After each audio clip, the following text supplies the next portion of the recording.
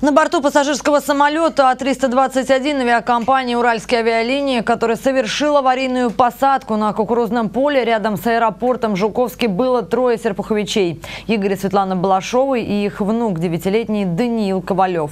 Об их истории мы расскажем прямо сейчас.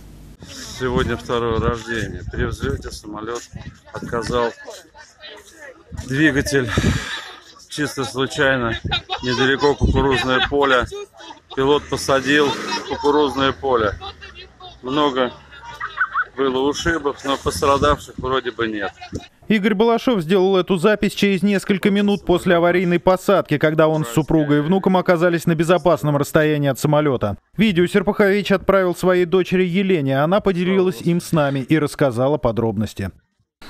Знаете, они не успели даже понять, как бы не успели испугаться, конечно, испугались, но вот ужаса не было такого. То есть мама с папой переглянулись, они сидели все втроем рядышком, поняли, что самолет падает. Сыну ничего не стали, никак об этом сообщать, крепко его обняли и вот так сидели, собственно говоря, вжавшись в кресло. Сын понял в самом конце, когда вот уже прям к земле самолет э, снижался. Вот.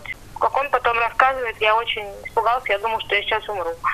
Напомним, утром 15 августа пассажирский самолет А-321 авиакомпании «Уральские авиалинии» совершил экстренную посадку на кукурузном поле в Раменском районе Подмосковья. При наборе высоты лайнер столкнулся со стаей чаек. Птицы попали в оба двигателя, один из них загорелся. На борту находилось более 220 пассажиров. Благодаря профессионализму экипажа самолет удалось посадить на кукурузное поле в нескольких километрах от аэродрома Жуковский без выпущенных шасси.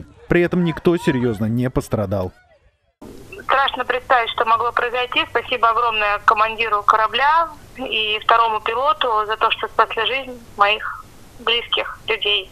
При посадке серпуховичи, к счастью, не получили серьезных травм, несколько синяков и запоздалый ужас от того, что могло случиться. Сегодня утром они сумели получить багаж и вылететь в Симферополь, где их самолет благополучно приземлился. Также сегодня стало известно, что Владимир Путин присвоил звание Героев России пилотам севшего на поле самолета уральских авиалиний. Бортпроводники, обеспечившие эвакуацию пассажиров, получат ордена мужества.